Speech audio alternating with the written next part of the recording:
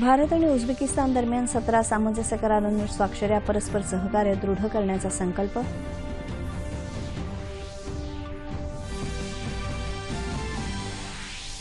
गतिशील समाजासाठी मानवाधिकारांचं पालन आवश्यक स्त्री पुरुष भेदभाव नष्ट झाला तरच नवभारताचं स्वप्न साकार होईल. उपराष्ट्रपती व्यंकय्या नायडू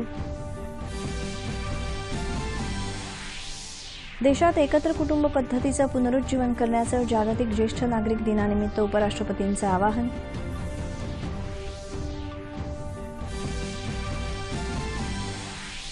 जनसहभागामुळे राज्य पूर्णपणे हागणदारी मुक्त झाल्याचं मुख्यमंत्र्यांचं प्रतिपादन. येत्या सव्वा वर्षात ग्रामीण भागातल्या प्रत्येकाला घर आणि स्वच्छ पेयजल उपलब्ध करून देण्याचं उद्दिष्ट. कोट्यवधी रुपयांच्या पंजाब नॅशनल बँक घोटाळा प्रकरणातील प्रमुख फरार आरोपी नीरव मोदी आणि त्याच्या कुटुंबियांची सहाशे सदतीस कोटी रुपयांची मालमत्ता सक्तवसुली संचालनालयानं गोठवली. आधुनिक वाल्मिकी म्हणून ओळखले जाणारे ख्यातनाम साहित्यिक ग दे माडगुळकर यांच्या उद्यापासून सुरू होणाऱ्या जन्मशताब्दी वर्षानिमित्त विविध कार्यक्रमांचं आयोजन आणि कर्करोग उपचारांमध्ये क्रांती घडवून आणणारे संशोधन केल्याबद्दल जेम्स आलेसन आणि तासुको होंजो या जोडीला वैद्यकीय क्षेत्रातला नोबेल पुरस्कार जाहीर. नमस्कार. साडेचारच्या बातमीपत्रात मी मंजिरी मराठे आपलं स्वागत करते. आता बातम्या विस्तारानं. भारत आणि उझबेकिस्तान या दोन देशांनी संरक्षण आणि सुरक्षा क्षेत्रातलं परस्पर सहकार्य अधिक मजबूत करण्याचा निश्चय केला आहे. भारताच्या दौऱ्यावर आलेले उझबेकिस्तानचे राष्ट्राध्यक्ष शौकत मिर्झियोवेव यांनी आज प्रधानमंत्री नरेंद्र मोदी यांची नवी दिल्लीत भेट घेऊन विविध मुद्द्यांवर चर्चा केली. प्रादेशिक शांतता स्थापन करण्यासाठी उभय देश वचनबद्ध असून या कामात भारत उझबेकिस्तानला सर्वतोपरी मदत करेल असं मोदी यांनी नंतर झालेल्या संयुक्त पत्रकार परिषदेत सांगितलं. या दोन नेत्यांमध्ये चर्चा झाल्यानंतर उभय देशांमध्ये कृषी पर्यटन तस्करी आरोग्य वैद्यक क्षेत्रात सतरा सामंजस्य करारांवर स्वाक्षऱ्या झाल्या. संयुक्त राष्ट्रात भारताला स्थायी सदस्यत्व मिळण्याबाबत उझबेक राष्ट्राध्यक्षांनी पाठिंबा दर्शवला.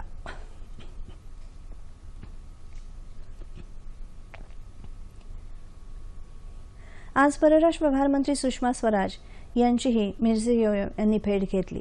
तत्पूर्वी आज सकाळी नवी दिल्लीत राष्ट्रपती भवनात त्यांचं औपचारिक स्वागत करण्यात आलं. यावेळी त्यांनी मानवंदना स्वीकारली. त्यांचा हा पहिलाच भारत दौरा आहे.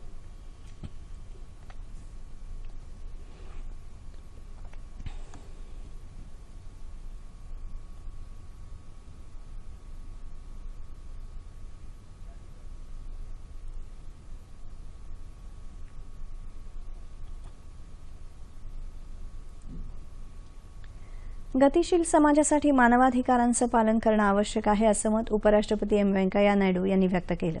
नवी दिल्लीत आंतरराष्ट्रीय मानवाधिकार संमेलनाला मार्गदर्शन करताना ते आज बोलत होते.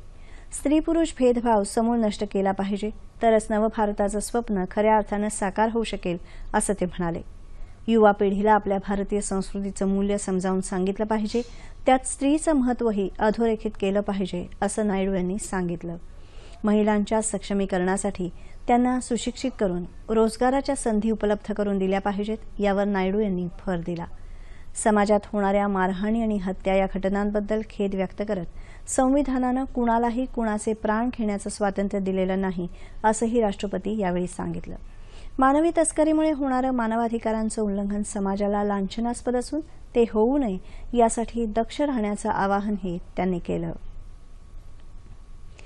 एकत्र कुटुंब पद्धतीचं देशात पुनरुज्जीवन करावं असं आवाहन उपराष्ट्रपती व्यंकय्या नायडू यांनी आज केलं. त्यामुळे समाजात ज्येष्ठ व्यक्तींची देखभाल निगुतीनं होऊ शकेल असं ते म्हणाले. आंतरराष्ट्रीय ज्येष्ठ नागरिक दिनानिमित्त आज त्यांच्या हस्ते देशातल्या नामवंत ज्येष्ठ नागरिकांना वयोश्रेष्ठ पुरस्कारानं सन्मानित करण्यात आलं. वृद्ध असा शब्द न वापरता वरिष्ठ किंवा वयोश्रेष्ठ असा शब्द वापरावा असं ते यावेळी म्हणाले. जरी भारताची ओळख तरुण देश म्हणून असली तरी वरिष्ठांचं ज्ञान आणि त्यांच्या अनुभवाची या देशाला नेहमीच गरज असणार आहे असंही उपराष्ट्रपती म्हणाले. हा पुरस्कार दोन हजार पाच पासून सामाजिक न्याय आणि हक्क मंत्रालयाच्या वतीनं सुरू करण्यात आला आहे. वयोश्रेष्ठ नागरिकांना निरुपयोगी मानून इतिहास जमा करू नये तर त्यांच्या संपन्न अनुभवाचा समाजानं उचित उपयोग करून घ्यावा असं आवाहन माजी राष्ट्रपती प्रणव मुखर्जी यांनी आज नवी दिल्लीत झालेल्या एका कार्यक्रमात बोलताना केलं.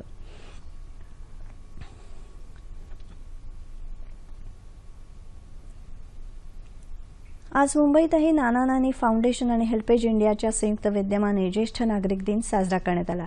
चर्नी रोड इथल्या बालभवन ते गिरगाव चौपाटीवरील नाना नानी पार्क दरम्यान रॅली काढण्यात आली. या रॅलीमध्ये साठ ते ऐंशी वयोगटातील नागरिकांबरोबरच शालेय तसंच महाविद्यालयीन विद्यार्थीही सहभागी झाले होते. आई वडिलांइतकेच आजी आजोबाही महत्त्वाचे असतात असं हेल्पेज इंडियाचे संचालक प्रकाश बोरगावकर यांनी सांगितलं.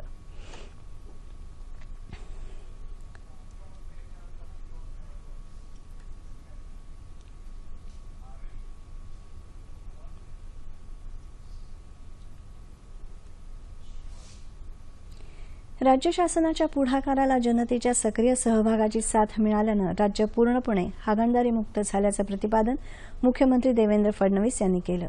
ते आज नवी दिल्लीत आयोजित महात्मा गांधी आंतरराष्ट्रीय स्वच्छता परिषदेत बोलत होते. येत्या सव्वा वर्षात ग्रामीण भागातल्या प्रत्येकाला घर आणि स्वच्छ पेयजल उपलब्ध करून देण्याचं उद्दिष्ट असल्याचंही त्यांनी यावेळी सांगितलं. पंतप्रधान नरेंद्र मोदी यांच्या स्वच्छ भारत अभियानाला प्रतिसाद देत महाराष्ट्र राज्यानं केलेल्या कामगिरीमुळे गेल्या तीन वर्षात स्वच्छता कार्यक्रमाची व्याप्ती वाढून शंभर टक्के झाली.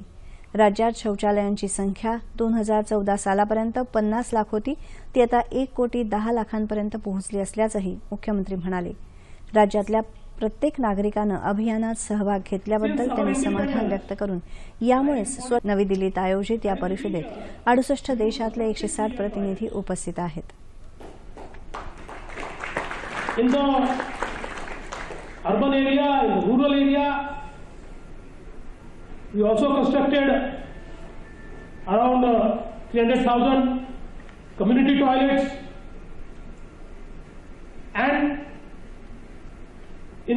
and a half years, urban Maharashtra became ODF.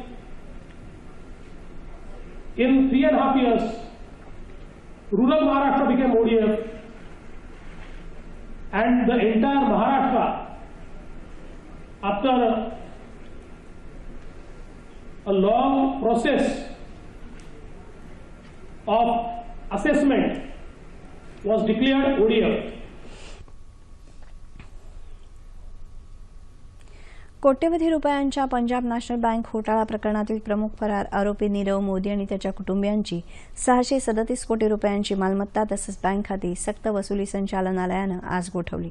या मालमत्तांमध्ये न्यूयॉर्क लंडन सिंगापूर तसंच मुंबईमधील मालमत्तांचा समावेश आहे. इंटरपोलनं याआधीच नीरव मोदी याच्याविरुद्ध रेड कॉर्नर नोटीस जारी केली असून या घोटाळ्यातील आणखी एक आरोपी आदित्य नानावटी याच्याविरुद्धही इंटरपोलनं रेड कॉर्नर नोटीस जारी केली आहे. आर्थिक घोटाळे करून फरार झालेल्या गुन्हेगारांना भारतात परत आणण्यासाठी केंद्र सरकार सतत प्रयत्न करत आहे अशी माहिती केंद्रीय वित्त राज्यमंत्री शिवप्रताप शुक्ल यांनी आज दिली. या संदर्भात परराष्ट्र व्यवहार मंत्री सुषमा स्वराज यांनी निकारागुआच्या अध्यक्षांशी चर्चा केल्याचंही ते म्हणाले. जाहीर निषेधाचं निमित्त करून होणाऱ्या झुंडशाही किंवा गुंडगिरी कृत्यांना आळा बसावा यासाठी सर्वोच्च न्यायालयानं आज मार्गदर्शक तत्व जाहीर केली. या संदर्भात दाखल झालेल्या एका जनहित याचिकेच्या सुनावणी दरम्यान न्यायालयानं ही मार्गदर्शक तत्व जाहीर केली. चित्रपट दिग्दर्शक संजय लीला भन्साळी यांच्या पद्मावत चित्रपटाच्या सादरीकरणाला करणी सेनासारख्या राजपूत संघटनांनी विरोध दर्शवला होता. याप्रसंगी जाहीर निदर्शनं करताना झालेली झुंडशाही कृत्य आणि संपत्तीची नासधूस ही गंभीर बाब असल्याचं सरन्यायाधीश दीपक मिश्रा यांच्या अध्यक्षतेखालच्या पीठानं यापूर्वी म्हटलं होतं. संयुक्त राष्ट्र सुरक्षा परिषदेत सुधारणा करण्याच्या आपल्या प्रस्तावाला भारत देत असलेल्या पाठिंब्याबद्दल संयुक्त राष्ट्र सचिव अँटोनिओ गुटरेस यांनी कौतुक केलं आहे. या सुधारणांमुळे या जागतिक संघटनेत सध्याच्या जागतिक परिस्थितीचं प्रतिबिंब उमटेल असा विश्वास त्यांनी व्यक्त केला. गुटरेस आजपासून चार दिवसांच्या भारत दौऱ्यावर येत आहेत. दोन ऑक्टोबर दोन हजार एकोणीस रोजी साजऱ्या होणाऱ्या महात्मा गांधीजींच्या दीडशेव्या जन्मदिन कार्यक्रमाचा उद्यापासून शुभारंभ होत असून या पार्श्वभूमीवर गुटरेस भारत दौऱ्यावर आले आहेत. आपल्या भेटीत ते लोकसभा अध्यक्ष सुमित्रा महाजन राष्ट्रपती रामनाथ कोविंद पंतप्रधान नरेंद्र मोदी परराष्ट्र व्यवहार मंत्री सुषमा स्वराज यांची भेट घेणार असून अमृतसर इथल्या सुवर्ण मंदिरालाही भेट देणार आहेत. दहशतवादाचा मुकाबला आणि जहालवादाला रोखून धरण्याच्या कामात भारत संयुक्त राष्ट्राचा महत्त्वाचा भागीदार असल्याचं गुटरेस यांनी पीटीआयला दिलेल्या मुलाखतीत म्हटलं आहे. देशात जीएसटी अर्थात वस्तू आणि सेवा कर संकलनात वाढ झाली असून सप्टेंबर महिन्यात ते चौऱ्याण्णव हजार सहाशे नव्वद कोटी इतकं होतं. केंद्रीय वित्त मंत्रालयानं आज ही माहिती दिली. सप्टेंबर महिन्यात सदुसष्ट लाख जीएसटी परतावे भरण्यात आले होते. सप्टेंबरमधल्या चौऱ्याण्णव हजार चारशे बेचाळीस कोटी जीएसटी संकलनापैकी सप्टेंबर महिन्यात तीस हजार पाचशे चौऱ्याहत्तर कोटी जीएसटी तर पस्तीस हजार पंधरा कोटी एसजीएसटीच्या माध्यमातून महसूल प्राप्त झाला आहे.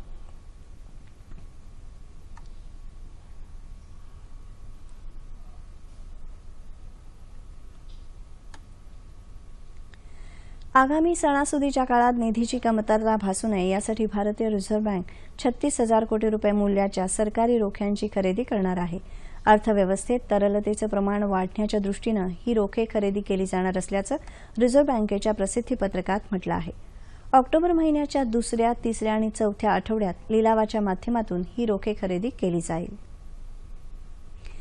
राज्यात प्लास्टिक उत्पादनावर घातलेल्या बंदीचं उल्लंघन करणाऱ्या उत्पादकांविरुद्ध आजपासून कारवाई करण्याचे निर्देश महाराष्ट्र प्रदूषण नियंत्रण मंडळानं अधिकाऱ्यांना दिले आहेत. किरकोळ विक्रेते वापरत असलेलं प्लास्टिक तसंच बहुस्तर असलेलं प्लास्टिक आणि टेट्रा पॅकेजिंग कारखान्याचं प्लास्टिक पुन्हा खरेदी करण्यासाठीची यंत्रणा तयार करण्याचा काल शेवटचा दिवस होता. या बंदीचं उल्लंघन करणाऱ्यांविरुद्ध कडक कारवाई करण्याचे आदेश देण्यात आले आहेत. तसंच प्लास्टिक गोळा करून त्याचा पुनर्वापर करण्याची यंत्रणा संबंधितांनी सुरू करावी अशी अपेक्षा असून या सूचनांचं पालन करण्यासंदर्भातही अधिकाऱ्यांनी लक्ष देणं अपेक्षित आहे असंही या अधिकाऱ्यानं सांगितलं.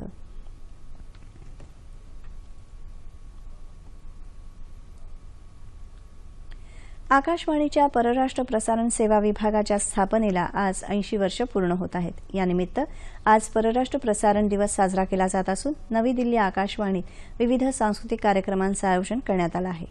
जगभरात भारताची प्रतिमा उंचावण्यासाठी परराष्ट्र सेवा विभागानं बजावलेली महत्त्वपूर्ण भूमिका अधोरेखित करण्यासाठी परदेशातल्या भारतीय दूतावासातही परराष्ट्र प्रसारण दिवस साजरा केला जाणार आहे.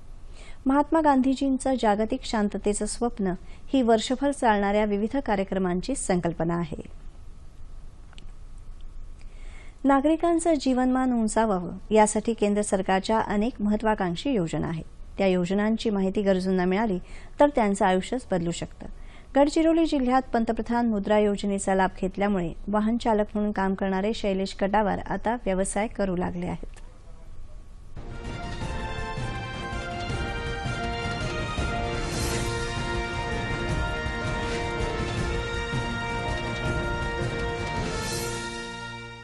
नक्षलग्रस्त म्हणून ओळखल्या जाणाऱ्या गडचिरोली जिल्ह्यातल्या अहेरी तालुक्यातील आलापल्ली इथले शैलेश कटावार. ते पदवीधर झाले पण घरच्या हलाखीच्या परिस्थितीमुळे चारचाकी वाहन चालवून आपला उदरनिर्वाह करत होते. एकदा गाडीतून प्रवाशाला नेतानाच त्यांना पंतप्रधान मुद्रा योजनेची माहिती मिळाली. त्यांनी आलापल्ली इथल्या वैनगंगा क्षेत्रीय ग्रामीण बँकेशी संपर्क करून कागदपत्रांची पूर्तता करून पंतप्रधान मुद्रा योजनेतून कर्ज मिळवलं. त्या पैशातून त्यांनी आपल्या पत्नीच्या सहाय्यानं किराणा मालाचं दुकान थाटलं. मी छोटंसं दुकान टाकलं एक किराणा आणि जनरल. त्याच्यामुळे माझ्या परिवाराचा आणि माझा उदार उदरनिर्वाह चालतो. आणि मी महिन्याच्या महिन्याला त्या मुद्रा योजने योजनेची किस्त भरतो. आणि त्याच्यामुळे या मुद्रा योजनेमुळे मला खूप छान फायदा झाला. कमाईतून कर्जाची परतफेड करता करताच प्रणाली कटावार यांनी शिलाई मशीन घेऊन शिलाईचं काम सुरू केलं. आम्हाला मुद्रा लोन मिळालं. आम्ही दु आम्ही दुकान टाकलं. आणि त्याच पैशांमध्ये आम्ही मशीनही घेतलं. आणि मी कपडे शिकले त्यामुळे आम्ही आमचं घर परिवार चालतो. अडचणींवर मात करत कष्ट करून पंतप्रधान मुद्रा योजनेच्या सहाय्यानं आज कटावार कुटुंब सुखी समाधानी आहे.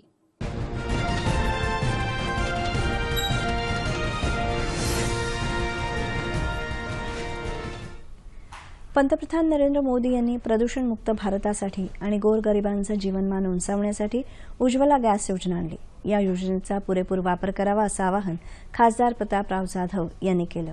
बुलडाणा जिल्ह्यात खामगाव तालुक्यातल्या टेंभुर्णा इथं प्रतापराव जाधव यांच्या हस्ते गॅस संचाचं वाटप करण्यात आलं. त्यावेळी ते बोलत होते. गॅस वापरामुळे धुरापासून मुक्त राहून महिलांचं आरोग्य चांगलं राहण्यासाठी मदत होत आहे.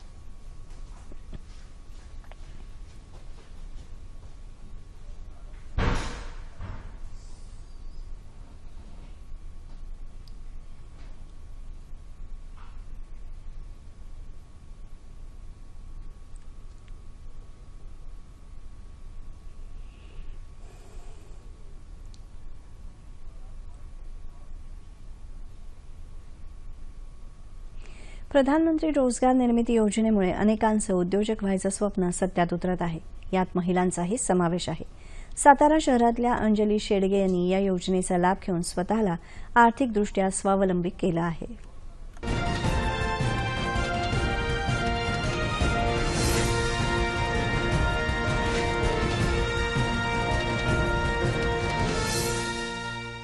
सातारा शहरात राहणाऱ्या या आहेत उद्योजिका अंजली शेडगे. मनात काहीतरी करण्याची इच्छा आणि ती पूर्ण करण्यासाठी मेहनत करण्याची तयारी. या गोष्टींनी अंजली यांनी फिरतं रेस्टॉरंट सुरू केलं. पण त्यांच्या जिद्दीला आणि मेहनतीला साथ लाभली ती प्रधानमंत्री रोजगार निर्मिती योजनेची. अंजली यांनी या योजनेअंतर्गत नऊ लाख सत्तर हजार रुपयांचं कर्ज घेतलं आणि आपल्या व्यवसायाला सुरुवात केली.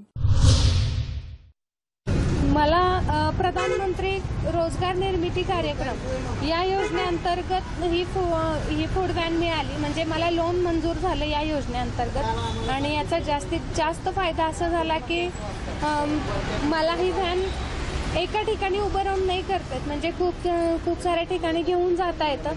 शिवाय मला एक सगळ्यात खूप छान फायदा झाला की नवीन ओळख तयार झाली की शास सरकारी योजनेतून एक महिला अशा पद्धतीनं ही व्हॅन तयार केल्यामुळं मला एक वेगळी ओळख मिळाली.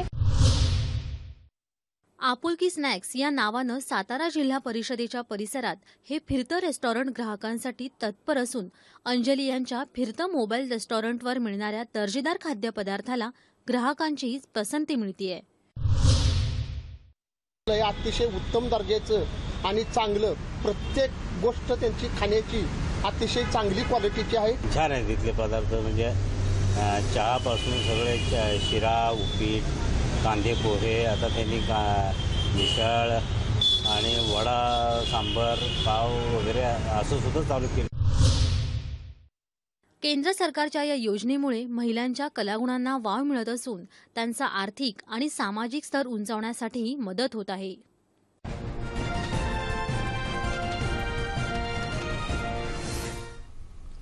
भारतीय रेल्वेच्या स्वच्छता उपक्रमात सहभागी होत आज मुंबईत मध्य रेल्वेच्या दादर स्थानकात स्वच्छता आणि जनजागृती मोहिमेचं आयोजन करण्यात आलं होतं. तोलानी महाविद्यालयाच्या एका विभागानं ही मोहीम आखली होती. यावेळी पथनाट्याच्या माध्यमातून स्वच्छ भारत अभियानाविषयी जनजागृती करण्यात आली. मध्य रेल्वेच्या सहयोगानं हा स्वच्छता कार्यक्रम करण्यात आला.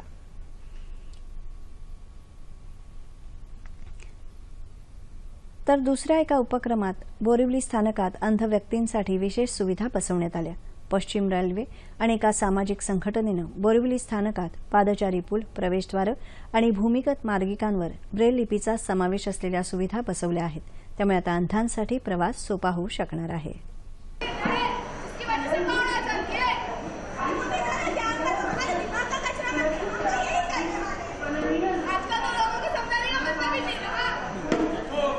अरे मैं डस्टबिन डस्टबिन मैं कचरा खाता हूँ कचरा इंसानों का पड़ा हुआ कचरा अरे तुम्हारा कचरा मैं खाता हूँ उससे सबको फायदा है इंसान से लेके जानवर से लेके पर्यावरण सबको सिर्फ फायदा ही फायदा है।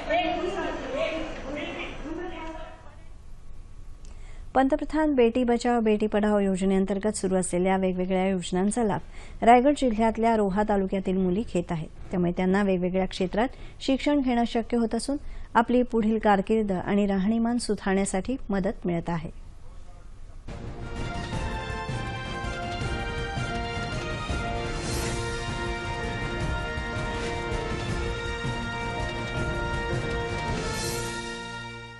रायगड जिल्ह्यात रोहा तालुक्यातील एम बी मोरे फाउंडेशन मुलींसाठी शाळा आणि महाविद्यालय चालवतं. यातून मुलींना बालवाडीपासून पदवीपर्यंत कला विज्ञान वाणिज्य आणि इतर व्यावसायिक प्रशिक्षण दिलं जातं. अनेक सामाजिक उपक्रम या महाविद्यालयांतर्फे राबवले जातात. त्याअंतर्गत पंतप्रधान बेटी बचाव बेटी पढाव योजनेअंतर्गत असलेल्या अनेक योजनांची माहिती पथनाट्यांद्वारे गावागावांमध्ये पोहोचवली जाते. बेटी बचाव बेटी पढाव योजना. या योजनेअंतर्गत आधी कसं होतं की मुलीला जन्म द्यायचा नाही? कारण हुंडा द्यावा लागतो किंवा मुलींचं शिक्षण करावं लागतं. ही जी आधीची परंपरागत चाललेली आपली जी रीती होती ती आता मोडीत काढलेली आहे. विद्यार्थिनी गावांमध्ये जाऊन त्या प्रत्येक स्त्रीला त्या माहिती सांगत असतात जेणेकरून ज्या शिकलेल्या नाही आहेत अशा स्त्रिया ज्या आहेत त्यांना त्यांची माहिती होते आणि त्यातून त्यांचं आरोग्य हे सुधारत जात आहे. या पथनाट्यांद्वारे मिळणारी माहिती आणि जनजागृतीमुळे रोह्यातल्या गावागावांमध्ये शिक्षणाचा कल वाढलेला दिसून येतोय.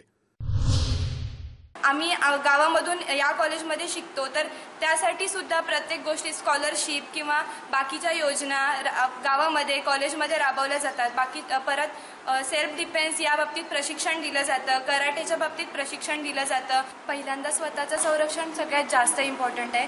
बाहेरच्या देशांमध्ये ज्या ज्या गोष्टी मुलींबद्दल किंवा स्त्रियांबद्दल घडतात त्या गोष्टींना कुठेतरी आळा बसेल. मुलींचा जन्मदर वाढवण्यासाठी स्वतः गरोदर माता जागरूक झाल्या आहेत. पंतप्रधान योजना जी आहे बेटी बचाओ बेटी पढाओ त्यासाठी विजयालक्ष्मी योजना आहे भाग्यश्री योजना आहे. याच्यातून मुलींचं शिक्षण किंवा मुलींसाठी ज्या वेगवेगळ्या योजना आहेत त्या आमच्या गावामध्ये आम्ही माझ्या या सगळ्या भगिनी राबवणार आहेत. किंवा त्या आता आम्ही राबवायला सुरुवात केलेली आहे. स्त्री भ्रूण हत्या तर होणार नाहीच. बेटी वाचली पाहिजे बेटी शिकली पाहिजे. आणि ती शिकून दोन्ही कुळाचा उद्धार करणारी अशी ही बेटी जगली पाहिजे. एकंदर बेटी बचाओ बेटी पढाओ योजनेमुळे गावातल्या महिला वर्गाला नवा आत्मविश्वास मिळालेला आढळून येत आहे.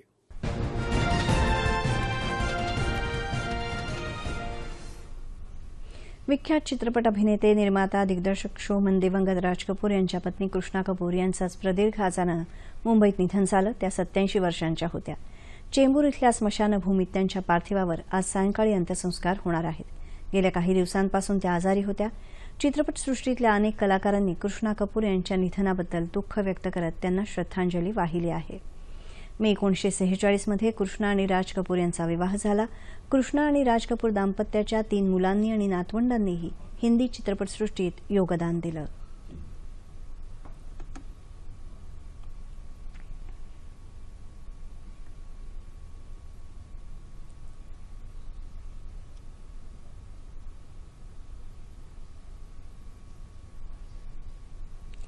विख्यात साहित्यिक कवी ग दि माडगुळकर यांची आज नव्याण्णवी जयंती. उद्यापासून जन्मशताब्दी वर्ष साजरं केलं जाणार आहे. मराठी चित्रपट कथालेखक आणि गीतकार म्हणून त्यांनी रसिकांच्या मनावर राज्य केलं. काही चित्रपटांमध्ये त्यांनी भूमिकाही केल्या. तब्बल एकशे अठ्ठावन्न मराठी चित्रपटांसाठी तर पंधरा हिंदी चित्रपटांसाठी त्यांनी कथालेखन केलं आहे. त्यांच्या लेखणीतून साकार झालेल्या गीत रामायणानं लोकप्रियतेचा कळस गाठला आणि आधुनिक वाल्मिकी अशी ओळख त्यांना मिळवून दिली. सांगली जिल्ह्यात आटपाडीचं माडगुळ हे त्यांचं जन्मगाव तर शेटफळे गावात त्यांची जडणघडण झाली. उद्यापासून सुरू होणाऱ्या जन्मशताब्दी वर्षाच्या निमित्तानं आज शेटफळे आटपाडीसह राज्यात विविध ठिकाणी कार्यक्रमांचं आयोजन करण्यात आलं आहे. पुण्यात कोथरूड इथं गदिमांचं स्मारक उभारलं जाईल. राज्य शासन त्यासाठी पंचवीस लाख रुपये देईल. तसंच वर्षभरात स्मारकाच्या कामाला सुरुवात होईल असं पुण्यात झालेल्या कार्यक्रमात पालकमंत्री गिरीश बापट यांनी सांगितलं. कर्करोग उपचारांमध्ये क्रांती घडवून आणणारं संशोधन केल्याबद्दल जेम्स आलिसन आणि तासुको होंजो या दोघांना यावर्षीचा वैद्यकीय क्षेत्रातला नोबेल पुरस्कार जाहीर झाला आहे. भौतिकशास्त्राचा नोबेल पुरस्कार उद्या तर रसायनशास्त्राचा पुरस्कार बुधवारी जाहीर केला जाणार आहे. त्यानंतर शांततेचा आणि अर्थशास्त्राचा पुरस्कार जाहीर होईल. साहित्याचा नोबेल पुरस्कार मात्र यावर्षी देण्यात येणार नाही. एका घोटाळ्यामुळे नोबेल सत्तर वर्षांच्या इतिहासात प्रथमच असं घडत असल्याची माहिती नोबेल समितीनं दिली आहे. तुर्कस्तानमधल्या सॅमसून इथल्या तिरंदाजी जागतिक चषक अंतिम स्पर्धेत अखेरच्या दिवशी भारताची तिरंदाज दीपिका कुमारी हिनं कांस्यपदक पटकावलं. रिकव्ह प्रकारात तिनं जर्मनी पदक पटकावलं.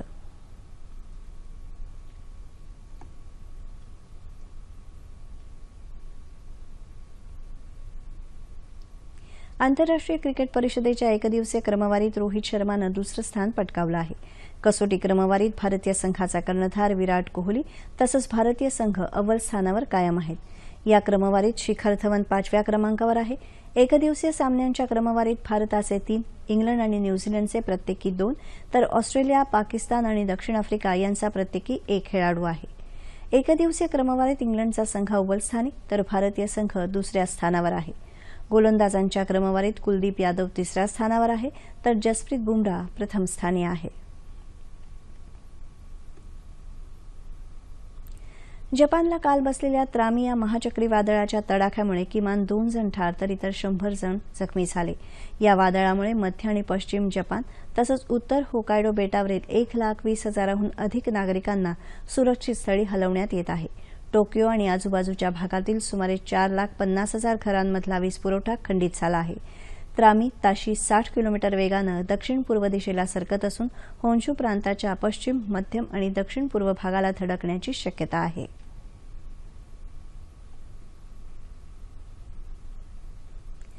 यंदा देशात मान्सूननं सरासरीपेक्षा नऊ टक्के कमी उपस्थिती दाखवली आहे. यंदाच्या मोसमात देशात सरासरीच्या एक्क्याण्णव टक्के पाऊस झाल्याचं हवामान विभागानं सांगितलं.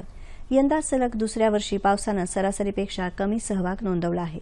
बिहार झारखंड पश्चिम बंगाल तसंच ईशान्येकडच्या राज्यांमध्ये पावसाची तूट जाणवली तर केरळला पावसानं चांगला तडाखा दिल्यामुळे पुराच्या बिकट समस्येला तोंड द्यावं लागलं.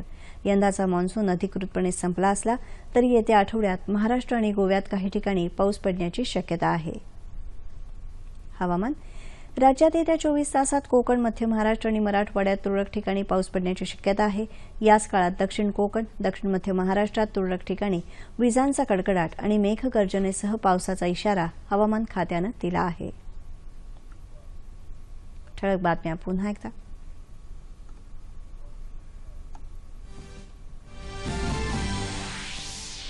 भारत आणि उझबेकिस्तान दरम्यान सतरा सामंजस्य करारांवर स्वाक्षऱ्या परस्पर सहकार्य दृढ करण्याचा संकल्प.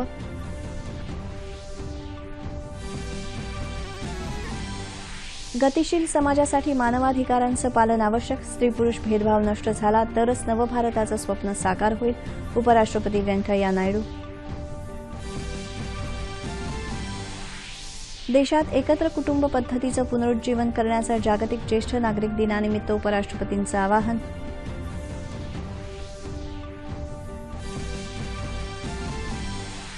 जनसहभागामुळे राज्य पूर्णपणे हागणदारी मुक्त झाल्याचं मुख्यमंत्र्यांचं प्रतिपादन.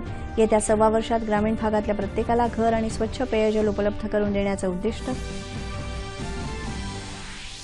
कोट्यवधी रुपयांच्या पंजाब नॅशनल बँक घोटाळा प्रकरणातील प्रमुख फरार आरोपी नीरव मोदी आणि त्याच्या कुटुंबियांची सहाशे सदतीस कोटी रुपयांची मालमत्ता सक्तवसुली संचालनालयानं गोठवली. आधुनिक वाल्मिकी म्हणून ओळखले जाणारे ख्यातनाम साहित्यिक गदी माडगुळकर यांच्या उद्यापासून सुरू होणाऱ्या जन्मशताब्दी वर्षानिमित्त विविध कार्यक्रमांचं आयोजन आणि कर्करोग उपचारांमध्ये क्रांती घडवून आणणारे संशोधन केल्याबद्दल जेम्स आलिसन आणि तासुको होंजो या जोडीला वैद्यकीय क्षेत्रातला नोबेल पुरस्कार जाहीर. याबरोबरच हे बातमीपत्र संपलं. पुन्हा भेटूया संध्याकाळी सात वाजता आपल्या सह्याद्री वाहिनीवर.